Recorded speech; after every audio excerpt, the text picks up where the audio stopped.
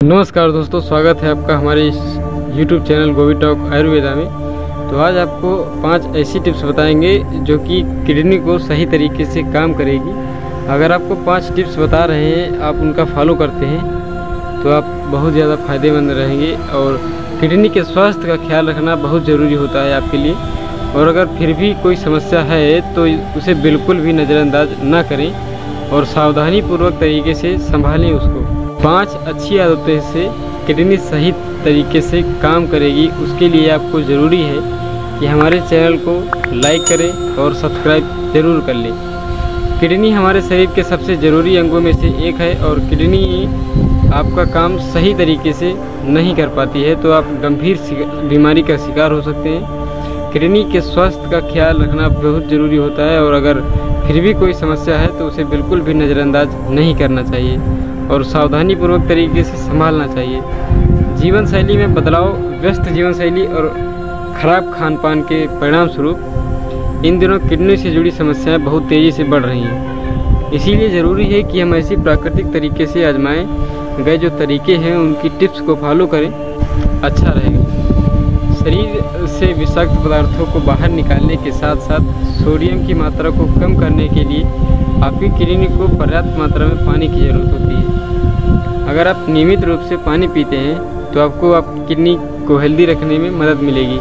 तो दोस्तों, पानी किस तरीके से पीना है, उसका वीडियो आपको मेरे चैनल पर मिल जाएगा तो उसका ज़रूर देख लीजिए, आपको पूरी जानकारी उसमें मिल जाएगी। हेल्दी डाइट के लिए कई स्वास्थ्य समस्याएँ जैसे डायबिटीज़ और हाई ब्लड प्रेशर किडनी से जुड़ी समस्याओं की प्रमुख वजह में एक है। इसलिए ऐसे फूड्स का सेवन करना चाहिए जिनमें प्राकृतिक रूप से सोडियम की मात्रा कम होती है। इसके अलावा ताज़े फलों का सेवन बहुत ज़रूरी होता है। और आप यदि गोभी ब्लूबेरी साबुत अनाज और दूसरी चीज़ों का सेवन कर सकते हैं तो कीजिए आपकी सेहत के लिए बेटर रहेगा। आपको बुरी आदतों से तो बिल्कुल दूर रहना है। धूम्रपान जैसे कि हो गया धूम्रपान आपको बिल्कुल किसी भी एज में हो, आप धूम्रपान बिल्कुल नहीं करना है। धूम्रपान करने से जो है तो आपकी रक्त वाहिकाएँ क्षतिग्रस्त हो जाती हैं और इसकी वजह से शरीर के ज़रूरी अंग तक रक्त का प्रवाह कम हो जाता है। इन्हीं ज़रूरी अंगों में किडनी भी शामिल है। अगर किडनी को पर्याप्त मात्रा में रक्त की आपूर्ति नहीं होती है तो उनका काम करना मुश्किल हो जाएगा। इसलिए धूम्रपान को छोड़ना भी बहुत ज़रूरी होता है। हाई ब्लड प्रेशर जो है तो किडनी को नुकसान पहुँचाने का काम करता है। और क्योंकि आपके ब्लड प्रेशर को नियंत्रित रखने के लिए आपकी किडनी का बहुत बड़ा रोल होता है। अगर आपका ब्लड प्रेशर हाई रहता है और आपको दूरी, दूसरी परेशानियाँ हैं, जैसे कि डायबिटीज़ हो गया हाई डिज़ीज़ हो गई हाई कोलेस्ट्रॉल हो गया तो इसका प्रभाव बहुत ही घातक सिद्ध हो सकता है आपके शरीर के लिए। इसके लिए उपाय क्या है कि दोस्तों, आपको सुबह एक्सरसाइज करना चाहिए। अगर किडनी में कोई समस्या होगी तो इसका प्रभाव आपके शरीर पर दिखाई देना शुरू हो जाएगा। आपको एनर्जी लेवल डाउन महसूस होगा। पेशाब करने में दिक्कत होगी, किडनी में तेज दर्द होगा।